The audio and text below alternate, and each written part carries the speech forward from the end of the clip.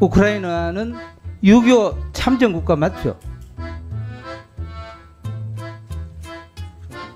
참전 국가는 아닌 거로 알고 있습니다. 참전 국가 아닙니까?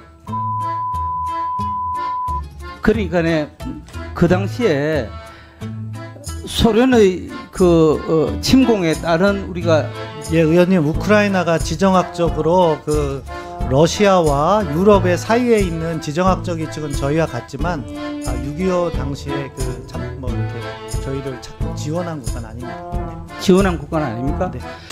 완전히 잘못된 겁니다. 6.25는 우리가 북한으로부터 침략받고 소련의 사주를 받았어요. 그 당시 우크라이나는 소련이었습니다. 근데 그 당시 우크라이나는 죽었네요. 국민께서 다 가시죠. 아니